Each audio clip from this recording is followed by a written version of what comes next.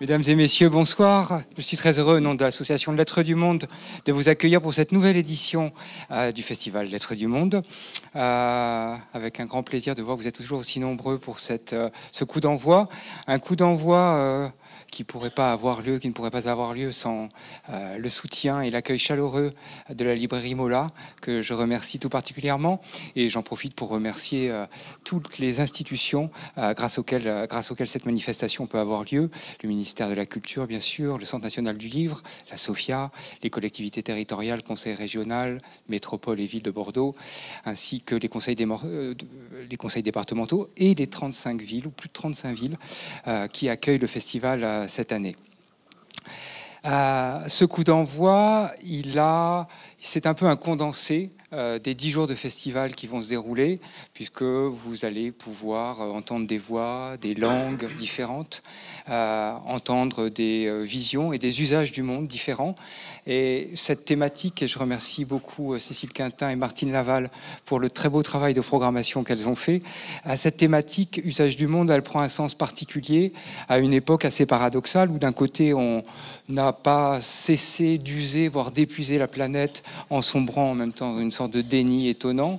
Euh, d'un autre côté, euh, les diversités n'ont jamais été aussi fertiles et on assiste à des replis euh, sur soi, individualistes ou, nationalistes. autant dire que ce festival, il a une valeur politique. Ce n'est pas simplement une série de rencontres, c'est pas simplement des dialogues aimables avec des auteurs, c'est vraiment une confrontation avec l'altérité. Euh, face à tous ces défis, on pourrait se demander, ces défis euh, énormes, on pourrait se demander ce que peut la littérature. Tout ou rien. Euh, rien si elle est que divertissement, pas grand-chose si c'est un dépaysement. Beaucoup si elle opère un acte de conscience.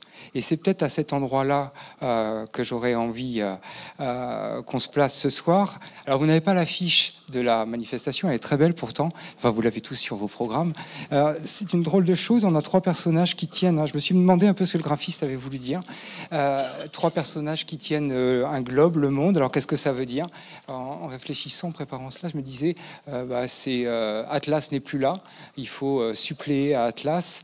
et à ce compte-là, on n'est pas trois de trop pour le faire. Alors ce soir, ils vont être quatre pour porter le monde et les usages du monde. Euh, Tommy Orange, qui n'est pas là, qui est euh, en, coulisses, euh, Patrick Chamoiseau, Giancarlo Casaldo et Sylvie Germain, que je remercie vraiment chaleureusement d'avoir accepté de participer à ce coup d'envoi. Et à travers eux, je remercie les 19 auteurs qui vont se produire pendant 10 jours ici à Bordeaux, en Nouvelle-Aquitaine, 35 villes, je le disais.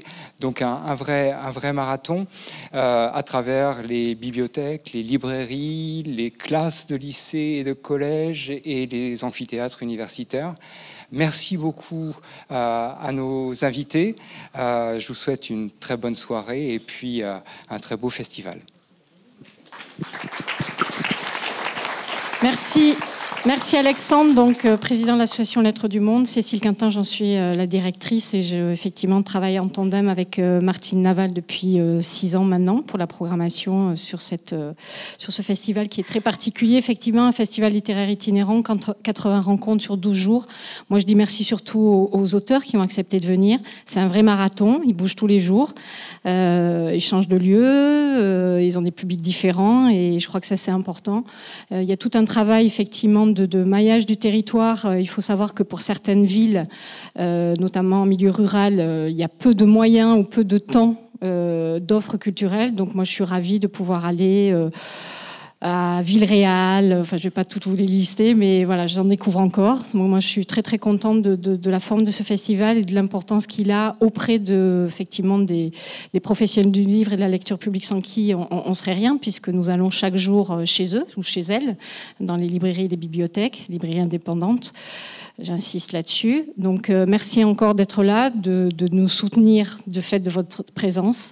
Euh, et merci aux auteurs. Donc, c'est Philippe Jean Katinki qui va modérer ce premier plateau avec euh, Sylvie Germain et Giancarlo Di Cataldo.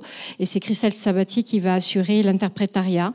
Et sur le deuxième plateau, donc, nous accueillerons Tommy Orange avec euh, Francis Geffard, son éditeur chez Albin Michel, la collection Terre d'Amérique pour l'interprétariat, et Patrick Chamoiseau. Et ce deuxième plateau sera euh, modéré par Marie-Madeleine Rigopoulos. Et nous inviterons l'ensemble de ces auteurs à, à être tous sur scène pour les questionner sur ce que signifie pour eux aujourd'hui euh, l'usage du monde. Voilà. Merci en tout cas. Je passe juste un petit mot à Martine Laval qui m'accompagne. Euh, mais j'ai cassé la voix, donc ça va être un mot très court. Ben, bienvenue à vous déjà et merci d'accueillir nos auteurs. C'est toujours un immense plaisir. Euh, parfois on s'arrache les cheveux, mais on est contente de le faire pour proposer justement cette manifestation qui, s'en va dans tous les petits territoires euh, de la Nouvelle-Aquitaine. Euh, moi, l'usage du monde, je crois que Philippe Jean va vous dire des choses là-dessus. Évidemment, c'est un clin d'œil à Nicolas Bouvier, euh, mais c'est aussi une grande question.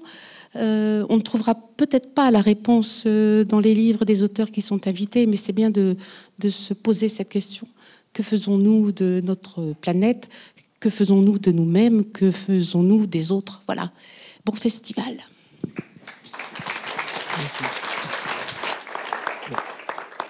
L'avantage de cette présentation, c'est qu'elle me met à l'aise par rapport à la frustration qui pourrait être la vôtre. On va vous présenter Enfin, on va dialoguer avec quatre des auteurs invités et à chaque fois, le temps qui va être imparti à chacun d'entre eux est extrêmement bref.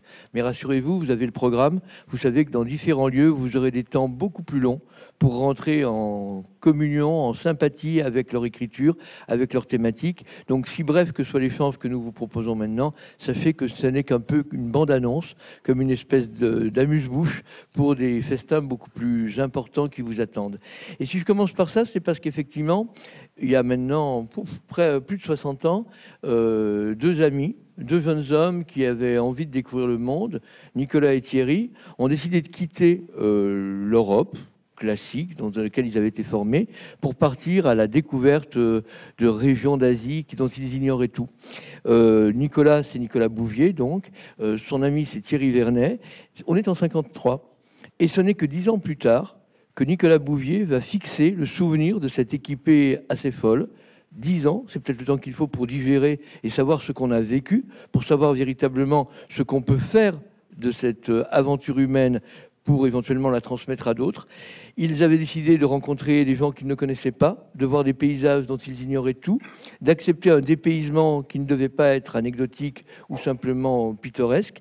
Et c'est fort de tout ça de cette euh, soif, de cette gourmandise du monde qu'est né donc euh, cet usage du monde qui nous sert en quelque sorte de livre tutélaire, donc publié en 1963. Et je ne résiste pas au plaisir de vous citer la dernière phrase de l'usage du monde de Nicolas Bouffier, parce que c'est aussi quelque chose qui va peut-être vous servir pour toutes les rencontres que vous allez entendre. Il pensait que l'usage du monde se fondait sur la, je le cite, réception par bouffée de l'odeur mûre et brûlée du continent indien. Alors ça vient effectivement peut-être de l'odorat, de la vue, de quelque chose qui vient par bouffée, ça n'est pas donné d'un seul coup. Ça peut peut-être être aussi quelque chose de mûr peut-être, mais de brûlant, voire de calciné. C'est déjà une façon pour moi de euh, vous inciter à regardez d'un peu plus près ce qui se voue dans le vent reprend ses tours. Il y aura du vent, il y aura des bouffées, il y aura des tours, avec euh, ce roman qui est paru au mois de mai cette année euh, chez Albin Michel. Et ce qui est intéressant, c'est que le vent, chez Sylvie Germain, il tourbillonne, il ne fait pas vraiment de cycle, c'est plutôt des spirales. Ça balaye des choses, ça bouffe le réel et, c'est de ce trembler-là que va se passer véritablement quelque chose d'essentiel. pour sentir le vent, il faut être dehors. Sinon, on est à l'abri et on est préservé, voire on est immobile.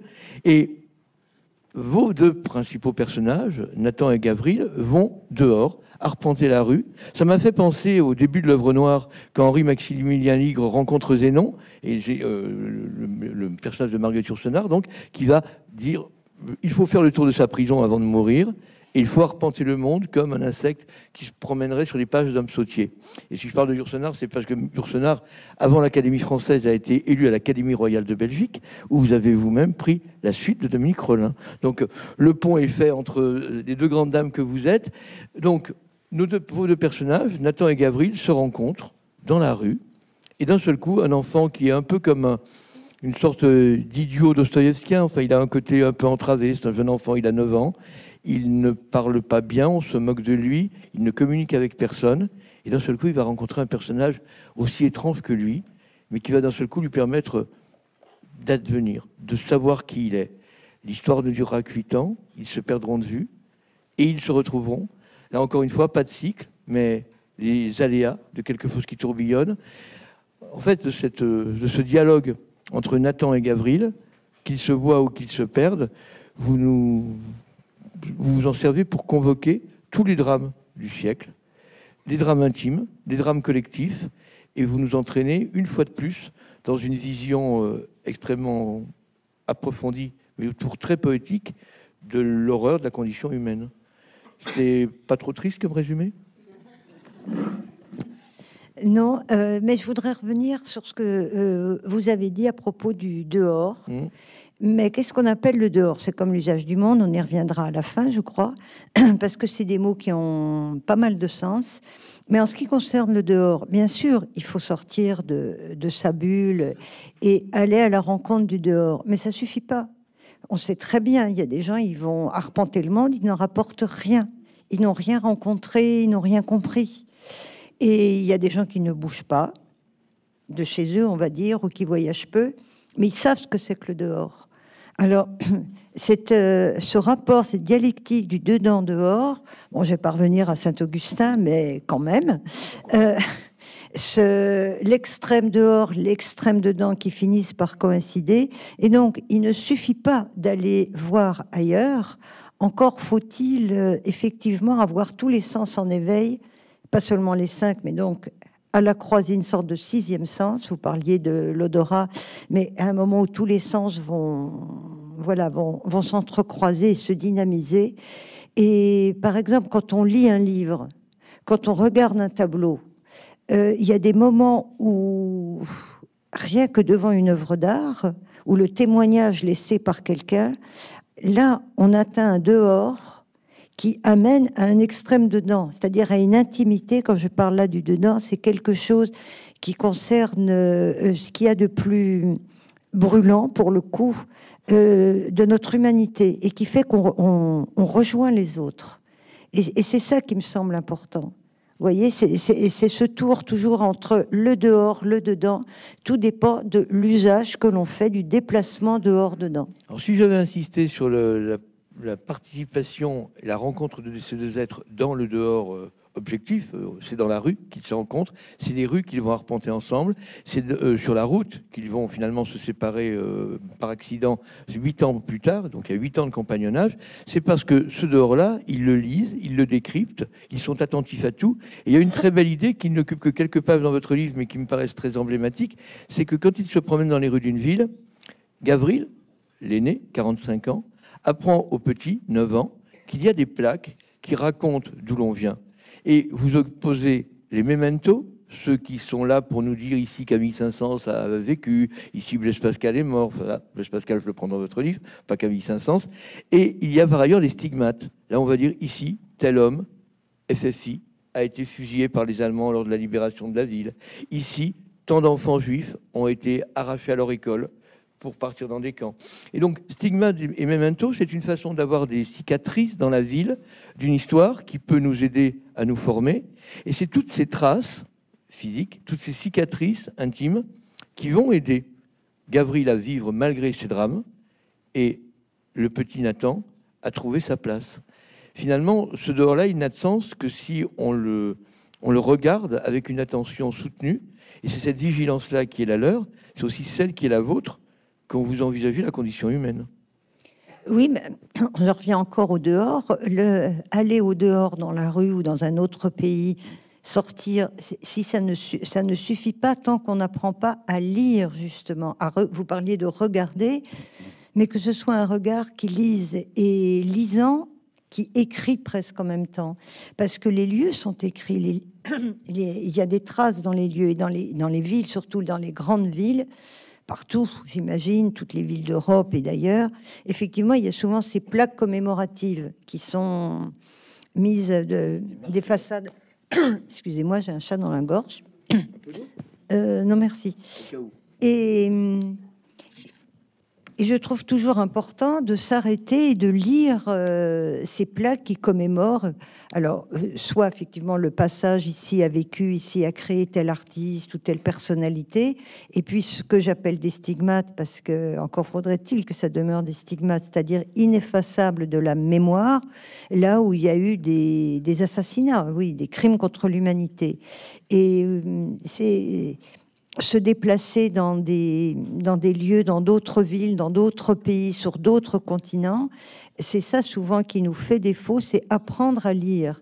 Et même entre soi, entre personnes, on ne se rencontre pas s'il n'y a pas une forme de lecture. Et quel type de lecture? Ça me rappelle soudain une phrase que je trouve très, très forte de Simone Veil, la philosophe, où elle dit Chacun crie en silence pour être lu autrement.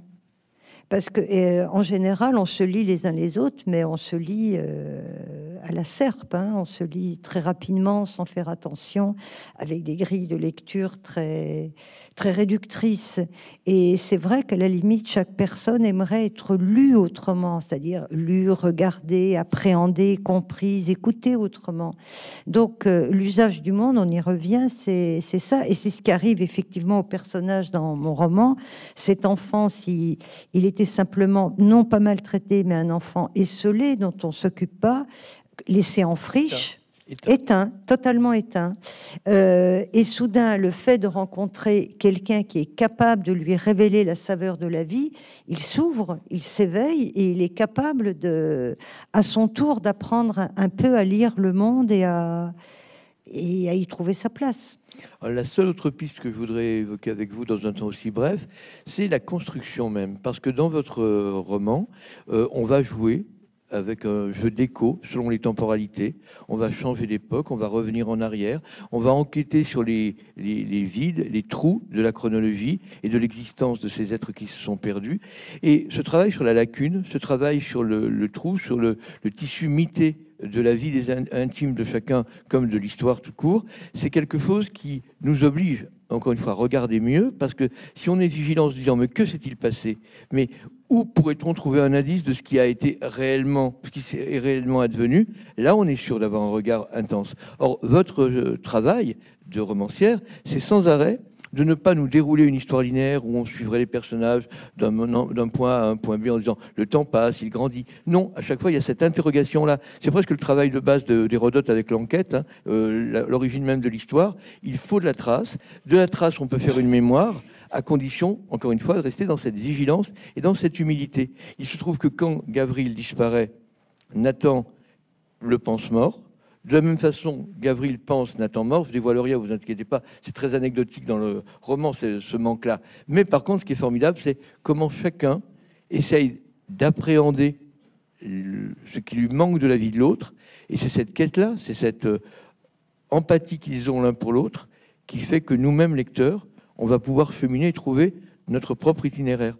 Vous ne nous prenez pas par la main, vous nous présentez un tableau avec des éclairages, et vous nous laissez libre. Ben, J'espère. Euh, mais l'écrivain lui-même, enfin l'auteur en l'occurrence là, moi, euh, quand, j'écris en tant que romancière, les, j'ai pas de plan vraiment préétabli, je sais pas du tout où je vais aller, mais les choses se mettent en place au fur et à mesure. Parce que vous parliez, j'aime beaucoup ces termes, je les emploie d'ailleurs souvent beaucoup, d'écho et de traces.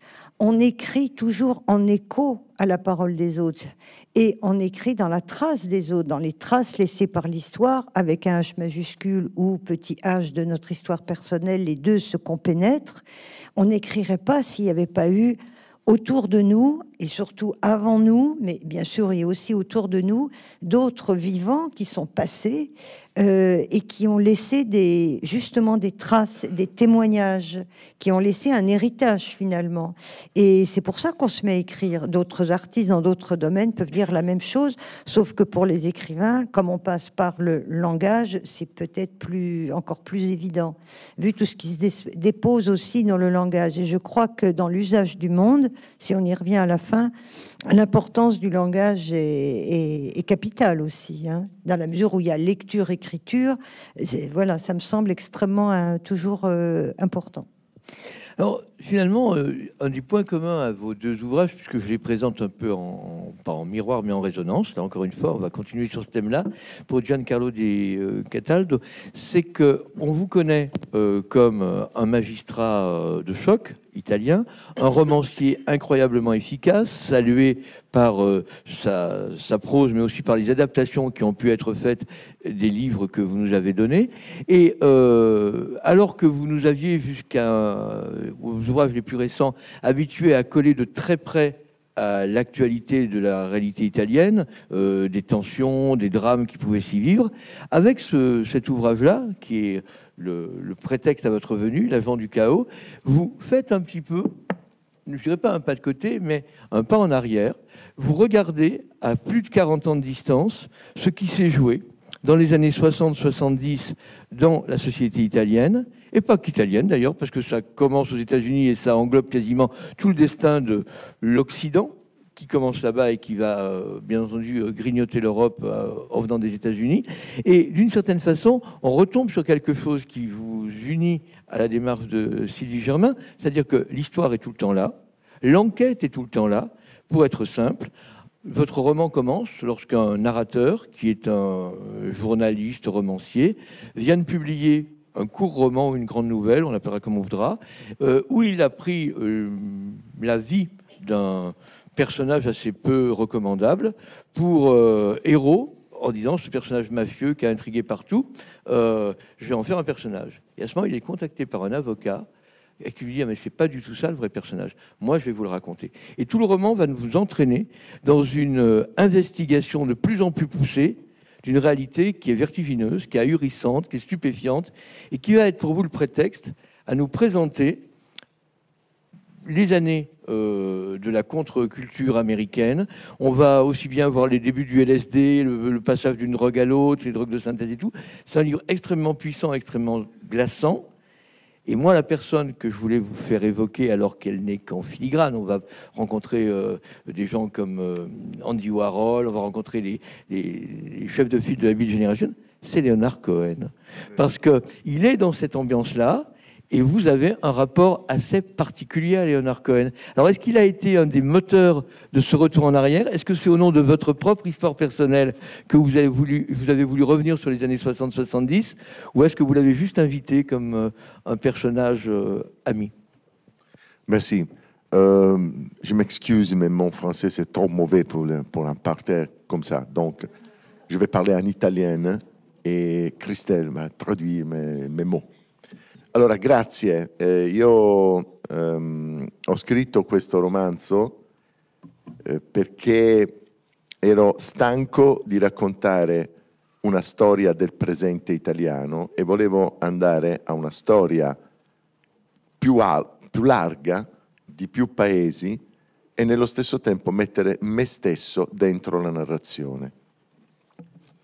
Donc euh, j'ai écrit euh, ce roman Euh, parce que j'étais fatiguée de raconter des histoires du présent, du présent italien, et je voulais une histoire qui remontait dans le temps, dans, le, dans laquelle je, je pouvais m'impliquer, moi, en tant qu'écrivain, narrateur.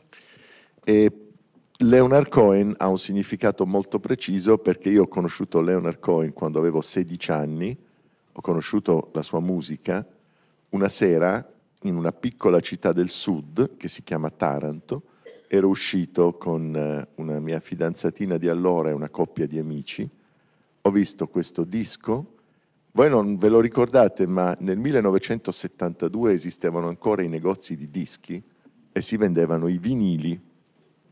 E c'era la fotografia di quest'uomo con una, uh, con una poesia che diceva They locked up men who wanted to rule the world, the fools, they locked the wrong man.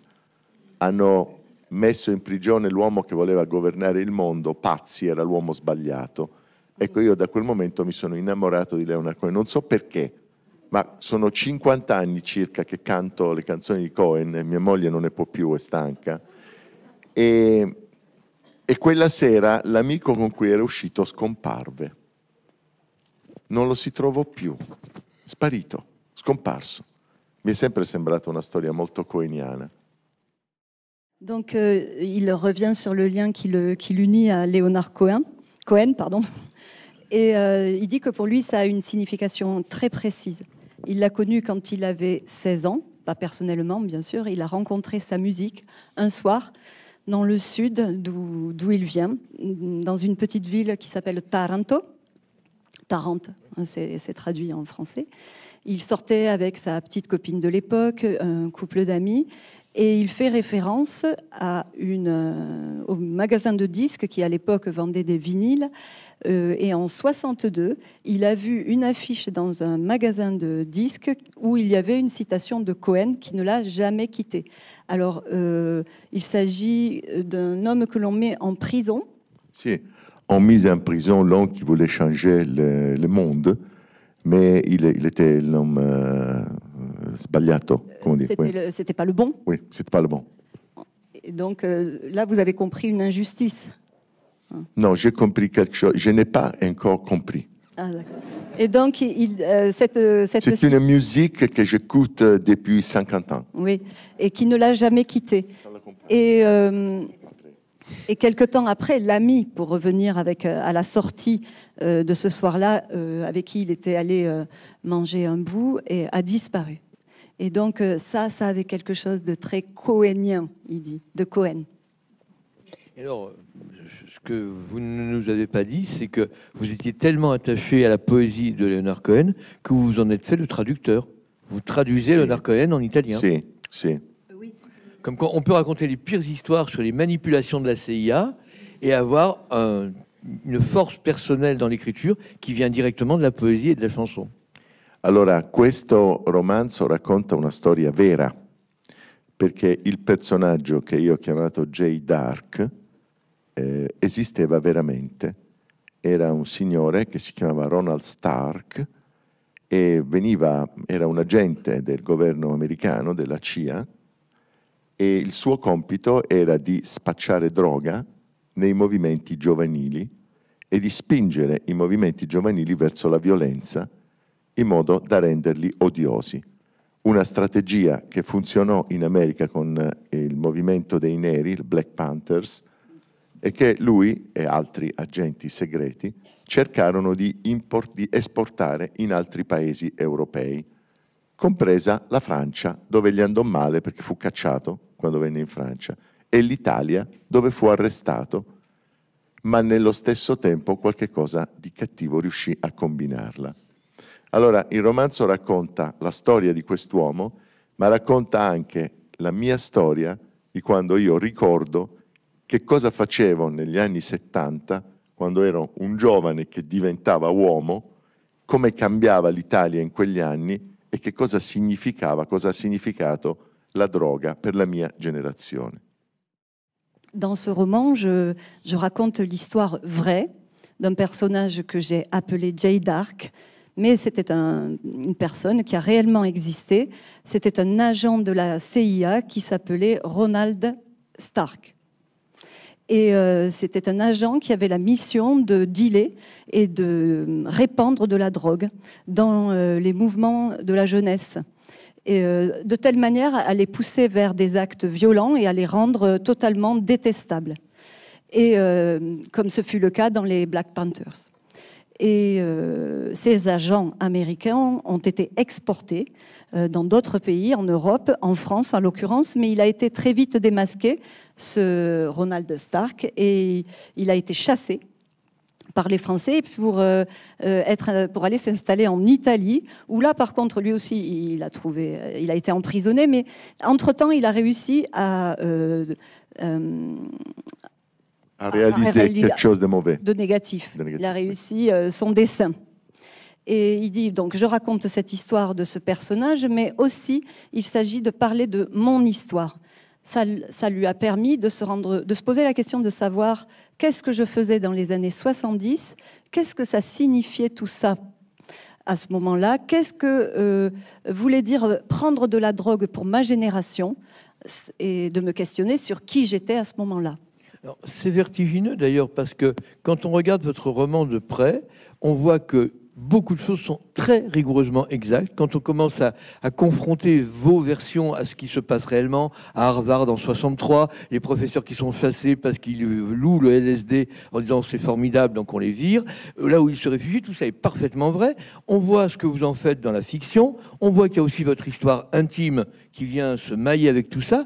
Et à l'arrivée, il y a aussi un formidable enjeu d'écriture, parce que je vous encourage bien entendu à lire ce livre euh, tout à fait récent, mais le début est un vrai ton de comédie. Il y a des rebondissements sans arrêt. On est dans un film euh, quasiment d'espionnage. C'est extrêmement vivant avec des rebondissements, des personnages euh, limite caricaturaux tellement ils sont campés. Et plus on avance, plus le roman devient noir, terrible. Et il y a toute une progression que le lecteur est obligé de, de prendre en charge alors qu'il aurait peut-être voulu que ça reste léger. Vous ne lui faites pas ce cadeau. Je vais devenir un citoyen français et honoraire et, mon ami va écrire le discours euh, avec tous ces adjectifs formidables, euh, étonnants, merveilleux. Merci. Je n'ai pas rien d'agendre à, ce que vous avez dit. No, eh, voglio, no, adesso, a parte gli scherzi, voglio dire, se io avessi scritto questo romanzo 30 anni fa, avrei detto c'erano i cattivi che volevano fare del male ai buoni, che volevano fare la rivoluzione. E ci sono riusciti. Oggi dico, c'erano i cattivi che volevano fare del male ai buoni che volevano fare la rivoluzione, non ci sono riusciti, perché qualcosa di quella rivoluzione è rimasta, nonostante loro e forse anche grazie a loro. Vorrei che consideraste questo come un romanzo molto ambiguo, in cui non c'è un confine molto preciso tra bene e male, c'è appunto il caos e il caos per definizione è movimento, confusione, rigenerazione. Tutto quello che allontana dalla morte e avvicina a un movimento continuo, quindi alla vita.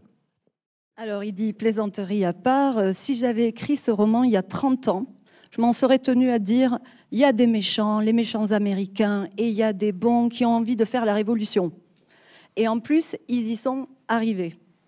Euh, ces Américains à gâcher le tout. Mais aujourd'hui, il a envie de dire, il y a des méchants, mais ils n'ont pas totalement réussi à détrôner euh, les révolutionnaires parce qu'au fond, il y a quelque chose qui est resté. Sans cela, sans cet agent du chaos, euh, il n'y aurait pas eu ces révolutions-là qui ont laissé des traces et qui se sont inscrites dans l'histoire. Et donc, il précise que c'est un roman ambigu entre le bien et le mal, euh, où le chaos génère du mouvement, de la confusion, de la régénération, régénération, sans laquelle il n'y a pas de vie, sans chaos, euh, il n'y a que de la mort. Sur cette phrase extrêmement souriante, nous allons laisser la place à la deuxième table ronde. Euh, juste un, un, mot. Mon ami, le Paris, il revient après 15 jours et on dit, j'ai découvert que je n'étais pas le fils de euh, mon père et ma mère, mais j'étais adopté. Et donc sa vie, il a changé complètement quand il a découvert d'être été adopté. Et maintenant, il vit en Escosse et, et joue le piano. Merci. Merci à vous. Bonsoir à tous. C'est vrai que c'est plus impressionnant vu, d'ici. Et c'est très plaisant de voir autant de monde euh, au nom de la littérature euh, voilà, se retrouver euh, un soir autour des auteurs. Alors, deux auteurs ce soir, deux trajectoires pour l'instant bien différentes, puisque nous avons un premier roman et nous avons une œuvre. mais probablement, et c'est presque un peu frustrant, mais c'est pas grave, ça vous donnera envie effectivement d'aller les retrouver dans les autres rencontres. Il y aurait, me semble-t-il, des recoupements euh, très intéressants entre l'œuvre de Patrick Chamoiseau, assis à ma droite, et celle de et le premier roman de Tommy Orange, euh, dont nous allons d'ailleurs euh, parler en premier, des thématiques que je vous laisse découvrir à travers les propos de nos auteurs. Tommy Orange, ici n'est plus ici. Votre premier, roman publié aux éditions Albin Michel par votre éditeur ici présent, Francis Geffard, qui vous servira d'interprète et qui a été traduit de l'américain par Stéphane Rock, c'est toujours important de le préciser, dans la collection euh, Terre d'Amérique, est un roman qui a fait beaucoup de bruit aux États-Unis. il a d'ailleurs été dans la liste des finalistes du, du Pulitzer. Il vous a valu de nombreux prix prestigieux. mais plus important encore, il a été très lu, très plébiscité. On en a énormément parlé. Et pour cause, c'est probablement un des romans qui a le plus fait la lumière sur la vie contemporaine de la population amérindienne contemporaine et urbaine. Et j'aimerais qu'on y revienne quand nous allons parler de, vos personnages. La question urbaine est très importante dans votre livre. Alors, première question, Tommy Orange. vous qui êtes euh, d'origine cheyenne par votre père, si je ne dis pas de bêtises, et, euh, américain euh, WASP, on dirait. Francis, tu me corriges si je dis une bêtise, du côté de, votre mère, qui avait grandi à Auckland, dans la baie de, de San Francisco. Qu'est-ce qui a déclenché la nécessité d'écrire ce livre polyphonique à travers 12 personnages en quête de leur identité amérindienne je crois que euh, ça s'est déclenché en 2012. Euh, qu'est-ce qui vous a donné envie de vous plonger à travers la fiction sur la question de votre identité, de vos racines? Um, Well, I think when I first started writing, um, which was pretty late, I was in my 20s and I didn't grow up a reader or a writer. Um, when I first started writing, it was something between um, poetry and philosophy, but mostly just bad internal writing, um, unreadable stuff. Um, by the time I considered including my own life and what what that meant, um, it automatically had to do with identity because I grew up with a native father, Cheyenne, and a white mother, and um, I grew up in Oakland, which gives you a certain um, amount of, or gave me a certain amount of experience with other people, also from mixed backgrounds. Um, so I, once I made the decision to write, um, maybe with, any kind of realism that included my life, it was it was always going to be about identity. Um, so the 12 characters has more to do with the kind of books that I like to read. I like I like books with a lot of voices in them, and I like voicey books. Um, so that's that was more of a craft decision, something I wanted to try because I like to read it. So a lot of the decisions I make when I go to write are things that I like to read. En fait, j'ai commencé à écrire assez, assez tardivement. La vingtaine venue et euh, enfant, je n'étais pas particulièrement intéressé euh, ni par l'écriture euh, ni par la lecture. C'est quelque chose qui est venu, qui est venu plus tard. Et quand j'ai commencé à écrire, c'était surtout quelque chose qui se tenait à mi-chemin entre la poésie, euh, l'essai. Et pour être tout à fait honnête, c'était pas franchement euh, très réussi. Et euh, venant d'une identité métisse, mon père est indien, il est cheyenne, ma mère est blanche. Bien évidemment, quand j'ai commencé à écrire de la fiction, c'est tout naturellement vers cette question de l'identité que je me suis senti porté. je viens d'Oakland, en Californie, où je suis né, où j'ai grandi, et c'est un endroit déjà où euh, le mélange des cultures est très important euh, et euh, ça reflétait certaines de mes, de mes considérations personnelles. Et cette question de l'identité, elle est bien évidemment importante pour les douze personnages qui peuplent mon livre et qui sont des gens d'Auckland.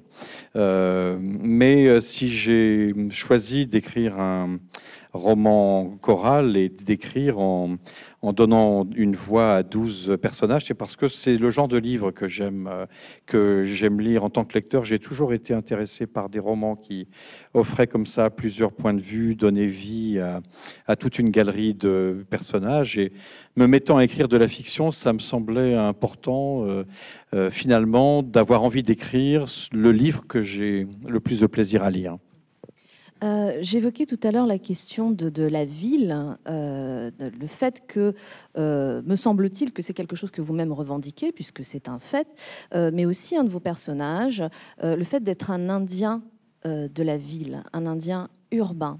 Et c'est une question qui, de mon point de vue de lectrice, qui ne connaît pas cet univers, me paraît presque d'une certaine façon surprenante, voire révolutionnaire et très intéressante, parce qu'elle, évidemment, casse, broie le cliché de, de l'amérindien dans la nature, absolument comme si sa place devait absolument être là où on l'a trouvé quand on est arrivé aux, aux Amériques, alors que les choses ont évolué.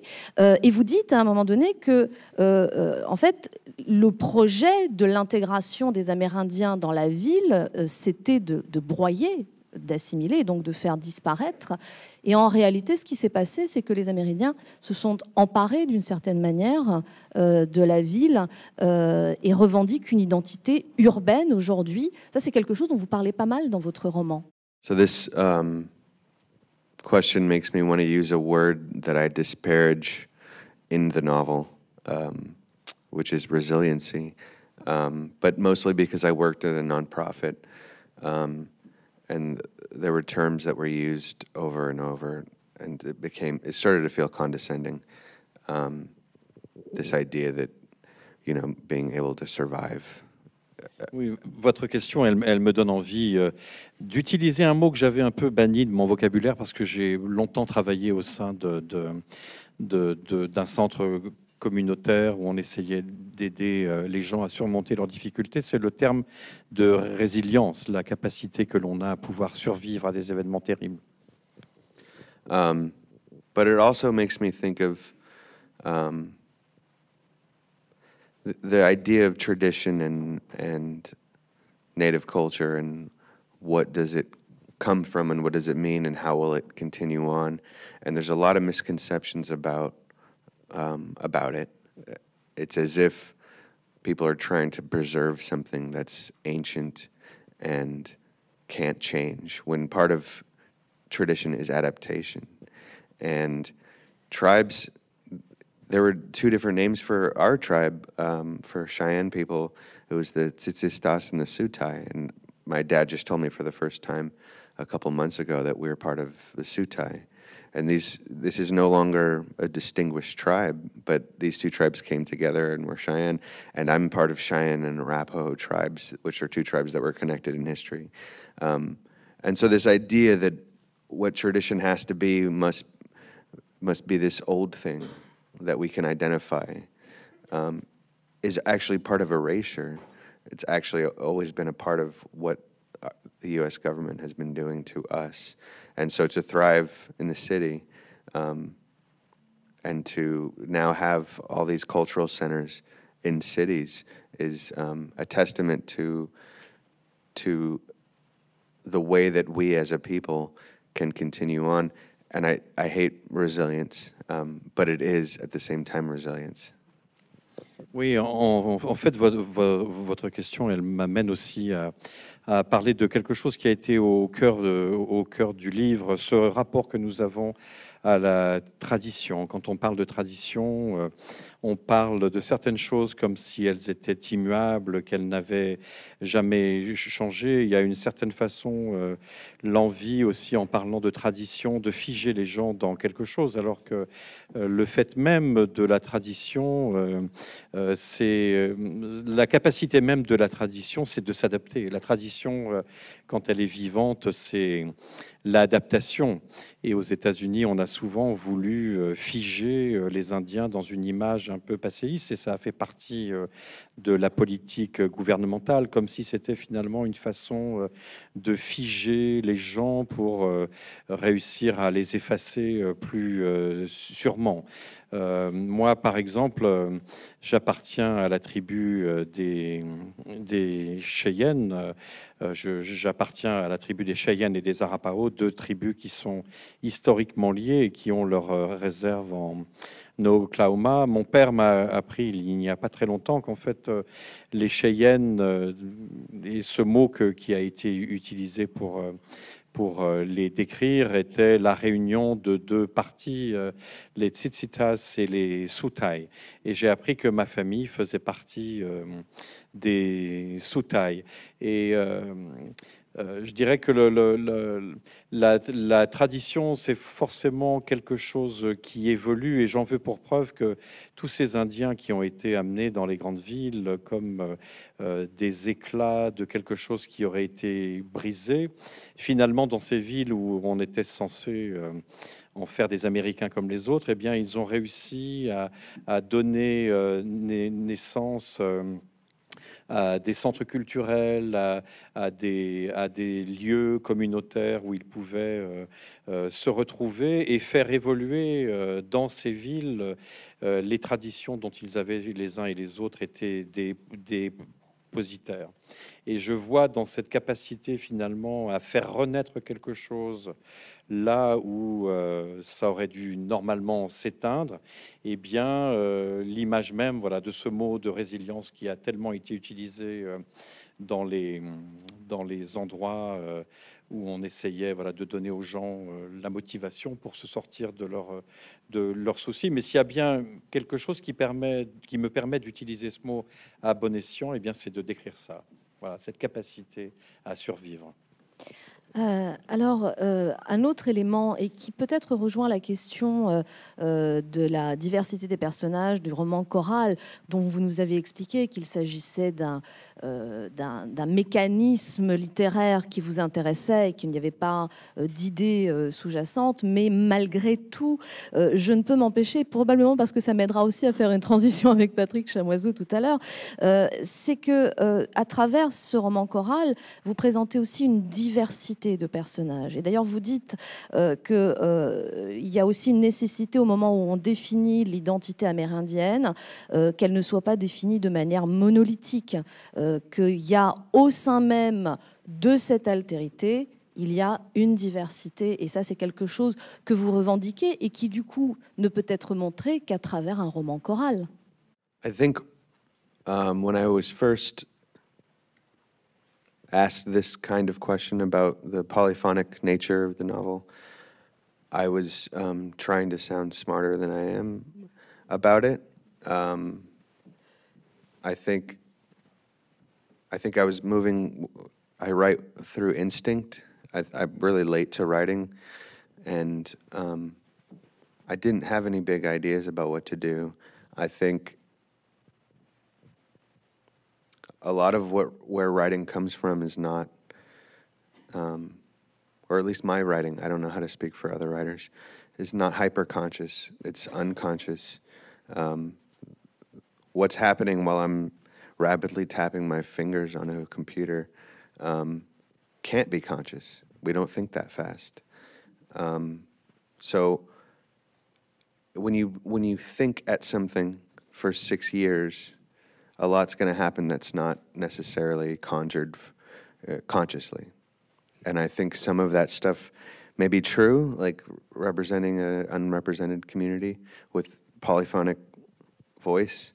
Um, with something that's been monolithic and singular and stereotyped horrendously. Um, I didn't think this will remedy that, and here I go. Um, but maybe I did that, and maybe I knew somewhere inside, but I can't claim that I was doing that, honestly. En fait, les, premières fois où on m'a posé euh, cette question, euh, j'ai voulu paraître plus intelligent que je ne le suis en, réalité. Et pour être tout à fait honnête, euh, je suis quelqu'un qui écrit de façon instinctive. Je n'ai pas imaginé de façon consciente en commençant à écrire ce livre, et c'est un processus qui a pris six ans. Euh, je ne me suis pas imaginé au départ vouloir euh, avoir une galerie de personnages suffisamment importante pour euh, donner une idée et une diversité à cette identité qui est si souvent apparue de façon réductrice, stéréotypée, monolithique, un peu comme s'il n'y avait finalement qu'une seule façon de possiblement être indien aux États-Unis. Mais je dirais que quand j'écris, c'est toujours de façon inconsciente et Peut-être que la, réponse la, plus euh, sincère serait de dire que ces personnages sont venus euh, comme ça euh, à la vie naturellement et qu'ils se sont imposés plus que je ne les ai imposés. Alors c'est très frustrant parce que je, ne peux pas continuer, le temps presse, mais encore une fois, on vous retrouvera, Tommy Orange, au cours d'autres rencontres pour parler de Ici n'est plus ici et tous ces personnages absolument magnifiques, tragiques, parfois drôles, que je vous invite à rencontrer à travers la lecture. Et je me tourne vers vous, Patrick Chamoiseau. Patrick Chamoiseau, faut-il encore vous présenter? Vous qui avez écrit plus de 40 ouvrages, vous avez écrit évidemment plein de romans, mais vous êtes également un conteur, essayiste, philosophe, dramaturge, scénariste. Et à votre corps défendant, vous êtes aussi poète. Vous êtes poète même si vous dites que vous ne l'êtes pas dans La matière de l'absence, que vous avez publié en 2016, si ma mémoire est bonne. Euh, et comme vous vous contredites dans Frères migrants, euh, publié en 2017 aux éditions du Seuil, euh, je vous propose quand même de, dire quelques mots, vu que c'est votre euh, plus récente parution, de dire quelques mots sur la motivation de ce texte poétique, qui est évidemment euh, un appel à regarder à regarder ces migrants, à les voir, à les regarder et à les voir pour ce qu'ils sont, c'est-à-dire des frères humains qui mettent leur vie en danger, qui souvent la, la perdent au fond, euh, au fond de, alors pas de l'Atlantique cette fois, mais de la Méditerranée. Euh, et vous choisissez la forme poétique pour lancer cet appel. Euh, peut-être avant de vous demander pourquoi ce livre, pourquoi la forme poétique? Est-ce qu'elle est, elle interpelle plus que la prose? Ah, ça c'est, une vraie question.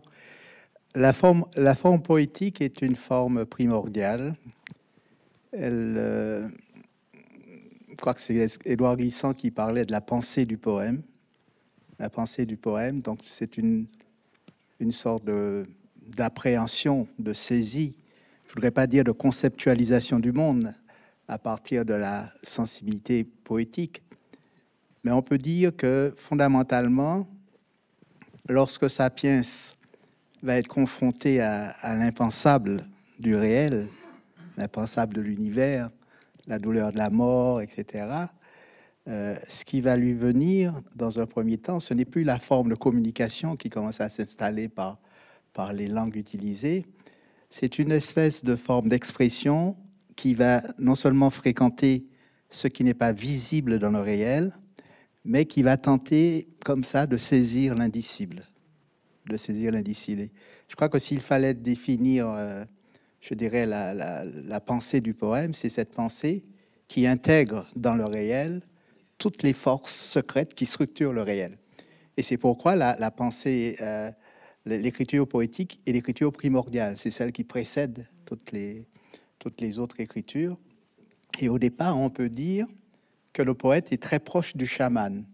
Le chaman est confronté à l'impensable, au mystère, il a une approche mystique, magique, et celui qui est le plus proche du chaman, c'est celui qui, face à ce même impensable, à ce même mystère, va précipiter dans le langage les forces de l'indicible et de l'invisible. Et là, nécessairement, la langue n'est plus un outil de communication, ça devient une matière, une matière de connaissance du réel.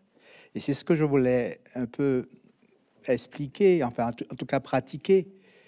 Lorsque moi-même j'ai commencé à écrire, j'ai commencé à écrire en, français dans une langue qui, chez moi, est une langue dominante. Il y a la langue créole qui est la langue populaire née dans les plantations esclavagistes, et puis il y a la langue coloniale qui était la langue dominante qu'on apprend à l'école, etc.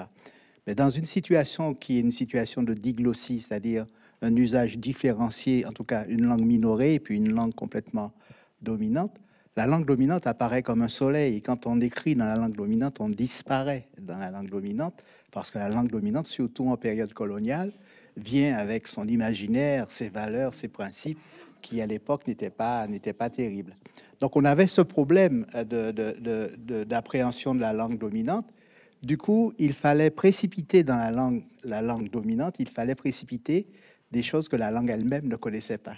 Donc du coup, on revient, on revient à la, à la pensée du poème. Et c'est d'ailleurs les grands, les plus grands résistants euh, du côté de la littérature euh, face à la, au moment de la décolonisation, ça a été des poètes, ça a été Aimé Césaire. Il n'a pas fait le roman, il a pris la forme poétique. Et puis, euh, presque tout le mouvement de la négritude qui a accompagné la décolonisation a été une, une, force poétique. dans la force poétique, dans la forme poétique, la langue devient une matière de connaissance. Alors, l'idée de matière de connaissance est importante parce que aujourd'hui, l'expertise, l'expertise économique, sociologique, enfin bon, une série d'experts s'emparent des sujets et les traitent. Et on a tendance à oublier qu'il y a un mode de connaissance, qui est un mode artistique et un mode esthétique. Et que ce mode euh, de connaissance est extrêmement puissant. Et que très souvent, le mode de connaissance esthétique ou artistique a précédé très très largement la connaissance scientifique. Et il me semblait que sur un, phénomène comme celui des migrants, qui épuisait toutes nos capacités d'indignation, à un moment, ça devenait normal que des gens meurent, et même aujourd'hui, on n'en parle même plus dans les, journaux, les gens meurent, des dizaines de personnes meurent, euh, ça ne pose pas de problème. Ça veut dire qu'il y a tout un dessèchement de notre imaginaire, il y a une espèce d'épuisement de notre capacité d'indignation qu'aucune expertise ne peut relancer. Et c'est là que la, connaissance artistique, la connaissance esthétique peut s'avérer intéressante. Et là-dessus, donc, sous ce phénomène-là, j'ai voulu aborder le phénomène pour montrer ce qu'il y avait d'invisible, ce qu'il y avait de profond, ce qui concernait notre rapport au monde, ce qui concernait la nécessité dans laquelle nous étions de devoir penser autrement l'organisation du monde et des États. Et c'est pourquoi j'ai utilisé ça. Alors, euh, du coup, ce qui m'interpelle, quand vous parlez de l'importance de la poésie euh, euh, comme acte quasi révolutionnaire, hein, vous parliez de, Césaire tout à l'heure, une autre chose que vous dites cette fois dans la matière de l'absence, c'est aussi l'importance de la musique, de la danse, c'est-à-dire tous ces éléments qui vont interpeller sur des sujets fondamentaux, mais qui ne vont pas passer directement par euh, l'intellect euh, conscient, mais vont aller mobiliser nos sens, nos émotions. Euh, c'est ça la force de l'artiste, c'est-à-dire au moment où vous dites notre imaginaire est, desséché, on n'a plus la capacité d'être en empathie avec la douleur d'autrui, mmh. finalement l'art vient toucher là où on, ressent encore quelque chose? Oui, c'est-à-dire qu'il y, y, a une part de l'esprit humain que la la rationalité ou que le rationalisme ne peut pas épuiser. Donc cette part généralement est occupée par les, mysticismes ou les religions ou, les superstitions. Mais c'est vrai que si on essaye d'organiser, en tout cas de porter secours à un être humain avec les seules forces de la raison et de la rationalité, moi qui suis travailleur social, j'ai vu hein, comment il était pratiquement, même dans des domaines très simples comme ceux de l'addiction, enfin je dis très simple, euh, la question de l'addiction, c'est pas une question qui, est sensible au discours rationnel. On peut expliquer que c'est mauvais, que si ceci, etc. Ça ne marche pas. Donc on s'aperçoit que même dans les approches thérapeutiques, les approches sociologiques, et encore plus dans les approches où il y a une nécessité de changer son rapport au monde, c'est-à-dire changer d'imaginaire, parce que c'est ça la vraie question aujourd'hui. Il y a un imaginaire qui visiblement s'est épuisé, il y a une perception du monde qui aujourd'hui ne fonctionne plus. Nous sommes obligés d'envisager un monde où la mobilité serait libérée. Si on n'arrive pas à, faire ce saut mental, ce saut éthique, nous allons vers de grandes catastrophes, des génocides, etc., etc. Et ce qui est intéressant de la connaissance artistique, c'est que la connaissance artistique s'adresse à la totalité de la perception. La totalité de la perception. Un texte littéraire c'est un texte, pas comme on le fait dans les écoles, qu'est-ce que l'auteur a voulu dire, qu'est-ce qu'il a, etc. C'est quelque chose qui, en principe, saisit la totalité de l'esprit, provoque des phénomènes, euh, je dirais, de, déraillement des assises de l'esprit, nourrit la sensibilité, réveille les couleurs, fait entendre de la musique, etc. Lorsque j'écris, pour moi, la langue est une matière, est une matière avec laquelle euh, euh, je, cherche des choses qui sont de l'ordre du dessin, de l'ordre de la couleur, de l'ordre de la, de la dynamique, de l'ordre de la polyrythmie, de l'ordre euh, de la musique. Enfin bon, je sacrifie le sens d'une phrase à sa musique. Et ça, c'est important parce qu'à ce moment-là, c'est toute, toute, la totalité de l'esprit qui est, qui, qui, qui est happée comme ça et qui vous emporte vers quelque chose qui est fondamental et qui est, est très, très important aujourd'hui parce que nous sommes à une période de fondation, de refondation de notre rapport entre, aux, civilisations, des peuples entre eux, des civilisations entre elles, de l'individu, parce que le processus d'individuation est extrêmement développée. On le voit bien dans le roman de sur Orange. Dans ce roman, on a euh, des communautés anciennes qui sont déstructurées. Et qu'est-ce qui surgit? Ce sont des individus qui doivent construire leur rapport au monde avec tout ce que ça suppose comme misère, comme détresse, comme souffrance, etc. C'est plus du collectif. Il y a un collectif qui vient en second plan, mais la trajectoire individuelle, la, décision est, purement individuelle et la résilience est individuelle. Et c'est cette résilience individuelle qui peut amener à des, modalités, des modalités communautaires. Et c'est ça qu'il nous faut aujourd'hui percevoir. Et lorsque j'ai me suis un peu penché sur les, la situation antillaise, parce que on parle du monde, mais on ne peut pas aborder le monde dans la, je dirais, l'universalisme désincarné. Euh, la citoyenneté au monde n'a aucun sens.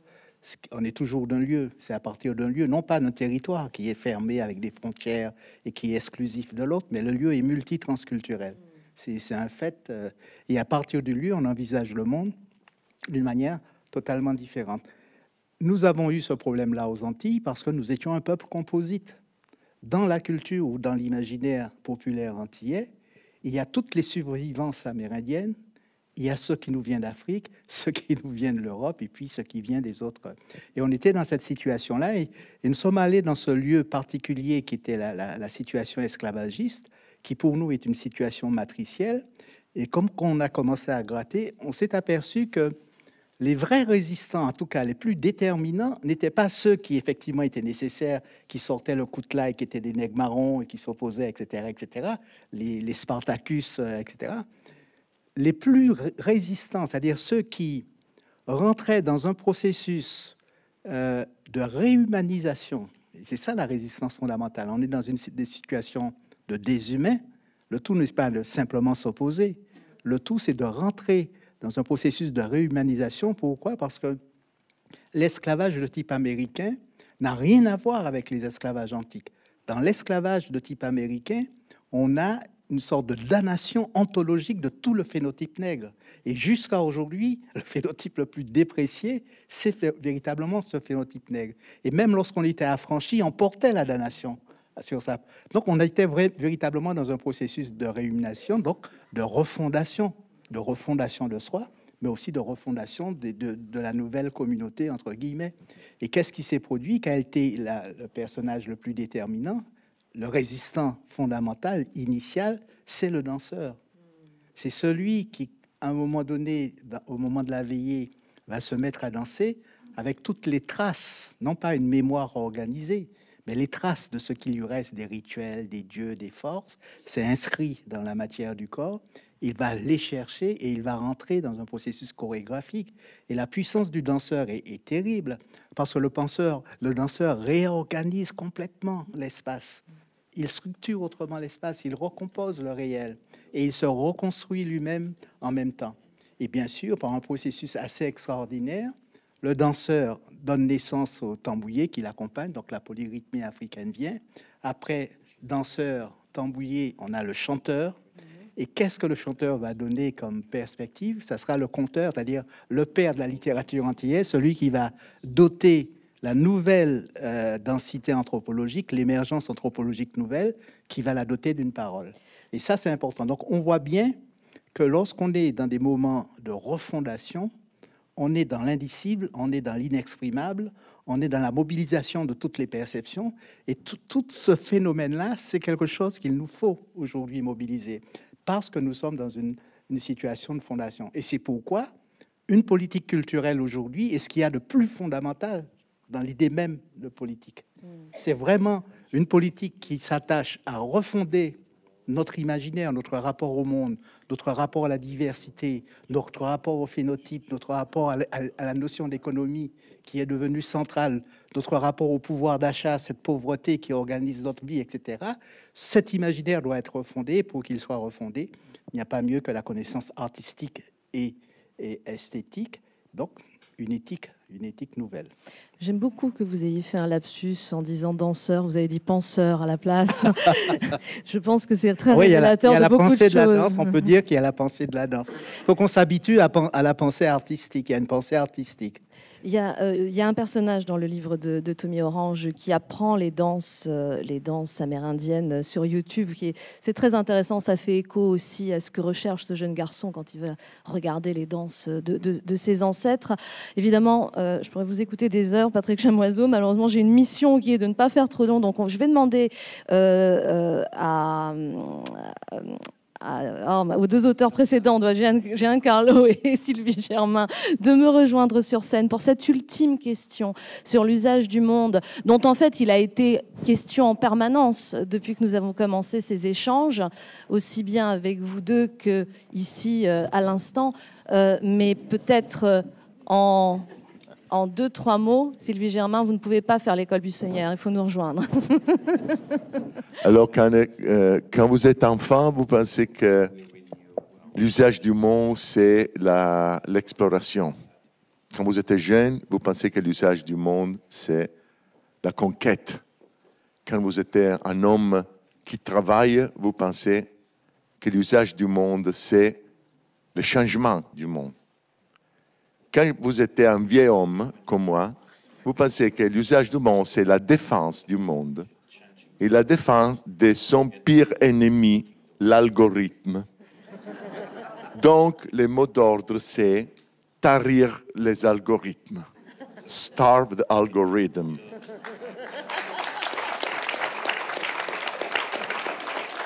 Cher Sylvie Germain, pour vous, euh, votre définition de l'usage du monde?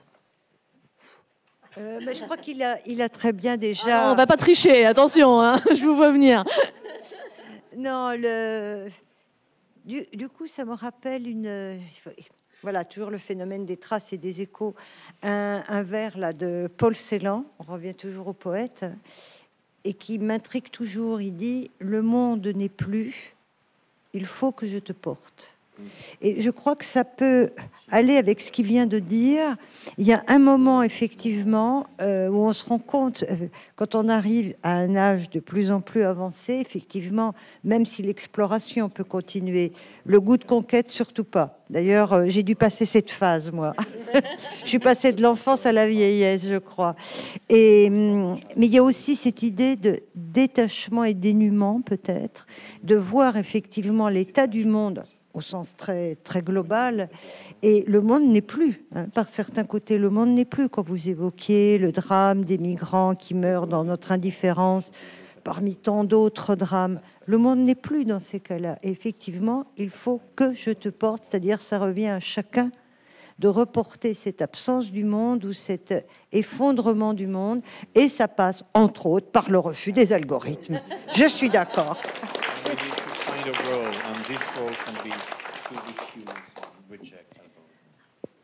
Cher Tommy Orange, à vous. I've been thinking a lot lately about um, how how the, the world couldn't be hell. Um, and what I mean by that is there are so many people suffering at all times um, in ways that feel make it feel like like how is this not hell? Um, and and one of those um, one of the ways that I've thought of that it that it couldn't be is is if we all live countless lives and and sort of get a ride on every kind of li- kind of life. Um, but I don't necessarily believe in an afterlife. Um, so then I was thinking, well, the only other option is, and this is a selfish answer, but um, reading books is a way to to embody lives, and it also is a great way to build empathy. And I think reimagining the world and our relationship to it, um, it ways to do that is reading outside of your own experience. So. Um, reading books by people that aren't like you, I think, is a really good way to um, reimagine the world. Oui, ré récemment, j'ai pas mal réfléchi à la façon dont on pourrait faire en sorte que le monde ne soit pas l'enfer qu'il est pour tellement de gens. Euh, il y a tant de souffrances euh, aujourd'hui. Alors, euh, l'une euh, des raisons que l'on pourrait, l'une des, choses que l'on pourrait trouver, c'est de se dire que finalement, chacun d'entre nous a un nombre de vies illimité, qu'on se réincarne sans cesse et que on peut donc euh, avoir comme ça des, existences extrêmement diverses et ce serait, ce serait pourquoi pas une bonne chose, mais pas très réaliste.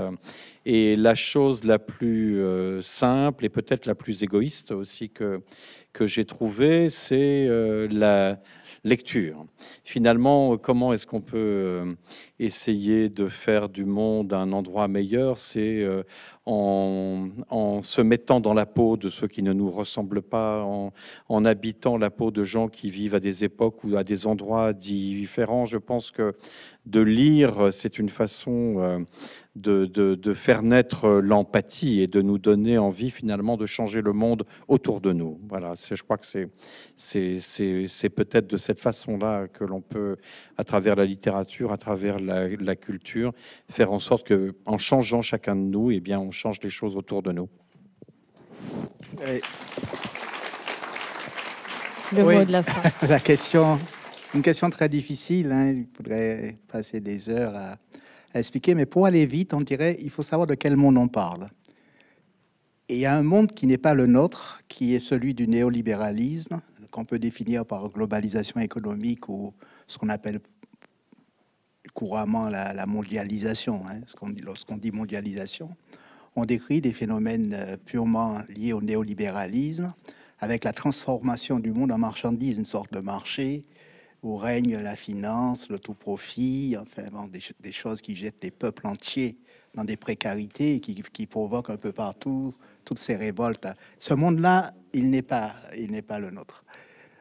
Et très souvent, pour lutter contre le monde de la mondialisation économique, le monde du libéralisme, nous avions tendance, nous les peuples euh, un peu frappés, occidentés, comme dirait Lacan, nous avions tendance à rejeter le monde. À rejeter le monde, ah ouais. Donc on va fermer les portes et les fenêtres, ça sera ma langue, mon Dieu, mon territoire, ma peau, ma danse, etc. On se ferme au monde parce que ce monde-là, on n'en veut pas. Mais une autre idée qui a été avancée par Glissant, il dit d'accord, oui, il y a un monde qui est terrible et qui est dominé par les néolibéraux qui ont pris euh, 50 ans d'avance sur le rapport qu'ils avaient au monde. Euh, mais il y a un autre phénomène qui s'est produit et que cette globalisation économique n'avait pas prévu, c'est que les imaginaires des peuples, des civilisations se rencontrent.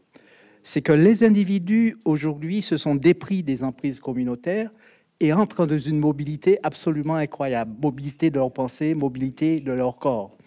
Il y a aussi un autre phénomène, c'est que cette globalisation économique entraîne des accélérations technoscientifiques qui fait qu'il y a un processus de déterritorialisation. C'est-à-dire que le monde brusquement est en face de nous, quel que soit l'endroit dans lequel nous sommes, nous avons une présence du monde en nous et nous sommes présents d'une manière ou d'une autre dans le monde. Et cet autre monde qui n'est pas la mondialisation économique, il faut l'appeler la mondialité. Et pour lutter contre la mondialisation économique, ce monde de, précarité, de- d'exploitation, de conquête, de domination, qui ne prend pas les formes anciennes mais qui respecte euh, le même esprit prédateur, cette idée d'une mondialité, c'est-à-dire se dire, voilà, les êtres humains aujourd'hui disposent d'une... Dans, le cosmos, parce que là encore, c'est encore un autre niveau. Là, on a parlé de l'usage du monde avec toute la littérature de voyage, mais bientôt, nos enfants, ils devront parler de l'usage du cosmos. Et pour bien habiter la Terre, il faudra que nous puissions replacer la Terre dans sa fragilité, dans son caractère infime, dans la Voie lactée, dans la galaxie et dans le cosmos. C'est cette échelle-là aujourd'hui qui se dessine pour nous. Mais lorsque nous sommes, nous considérons le monde aujourd'hui et que nous voyons que les individus existent et doivent se construire, non pas avec des prêts-à-porter existentiels donnés par les communautés, mais avec leur propre expérience à un niveau qui n'est plus ma langue, mon territoire, mon Dieu, ma peau, mais sur une scène qui est la totalité du monde.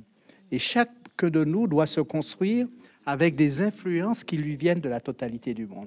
Et ce monde-là que nous pouvons, que nous, que nous devons prendre en compte, qui est une réalité, mais que nous devons construire aussi par la modification de notre imaginaire, il faut l'appeler la mondialité. Donc, le terme d'usage, j'aime pas tellement usage, ça fait un peu colonialiste, c'est un peu utilitaire. Il y a une relation au monde à bâtir, il y a une relation au monde à vivre, il y a une présence au monde à vivre, il y a le monde en soi qu'il nous faut aujourd'hui vivre. Et cette idée de relation au monde comme de relation entre les individus, entre les peuples et les civilisations, bien comprendre que chaque individu, nous sommes des sociétés d'individus, chaque individu dispose d'une culture qui est une culture de culture, et la civilisation contemporaine est une civilisation de civilisation. À partir de là, chacun se construit comme il peut son expérience dans la mondialité. Cette question aurait eu le mérite de nous offrir euh, vos quatre très belles réponses et on vous en remercie. Ah, on, veut réintervenir, Sylvie Germain. Prenez le micro, vite, vite, vite, juste pour défendre usage. Oui, oui, quand même. Parce qu'il a plein de sens. Et simplement, je veux revenir au moins à un sens qui est très beau. D'ailleurs, c'est le titre d'un livre magnifique qui est réédité constamment, qui s'appelle Du bon usage. C'est le Grévis qui défend la grammaire, la syntaxe, etc. Et on a besoin de la langue pour faire un certain bel usage, comme on dit aussi, voilà, du monde, parce que ça passe par la langue. Non, non, le mot usage, il faut. en, tout cas, en tout cas, merci infiniment à tous les quatre pour ces réponses qui invitent à la réflexion, à la lecture, évidemment. Pourquoi pas à l'écriture Je vous laisse juge, mais surtout lisez les livres de ces quatre auteurs et allez à leur rencontre les jours qui vont suivre. Merci infiniment à vous tous.